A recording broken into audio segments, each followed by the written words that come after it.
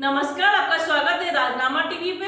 मैं पूनम आपके साथ। अपने पाँच दशक के करियर में वेटरन एक्टर रंजीत ने करीब 500 से ज़्यादा फ़िल्मों में काम किया होगा। हालाँकि उनकी असली पहचान अपने निगेटिव रोल्स के लिए ही मिली।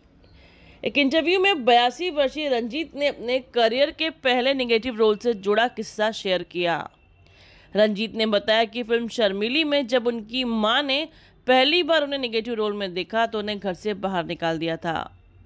एक इंटरव्यू में रंजीत ने कहा, फ़िल्म शर्मिली में एक सीन था जिसमें राखी के साथ ज़बरदस्ती करता हूँ। इसे देखने के बाद मेरी फैमिली थिएटर से बाहर निकल आई। शाम में जब मैं घर पहुँचा तो माँ ने मुझे कहा कि तेरी हिम्मत कैसे हुई घर के अंदर आने की? तू औरतों के कपड़े फाड़ता है, ये किस तरह का काम है? निकल जा मेरे घर से। इसके बाद रंजीत ने अपनी को एक्ट्रेस राखी को मनाया कि वो घर चलकर उनकी माँ को समझाए। कि यह सब रियल नहीं, बल्कि शूटिंग का हिस्सा था। रंजीत ने कहा, राखी जी, बहुत खूबसूरत थी। जब वो मेरे साथ घर पहुँची तो मेरी माँ उन्हें देखकर रोने लगी। उन्होंने राखी से कहा, सत्यानाश हो मेरे पुत्रदा मैं माफ़ी मांगती हूँ तुझसे। बाद में जब राखी जी ने मेरी माँ को समझाया, तब जाकर माँ ने मुझे माफ़ किया।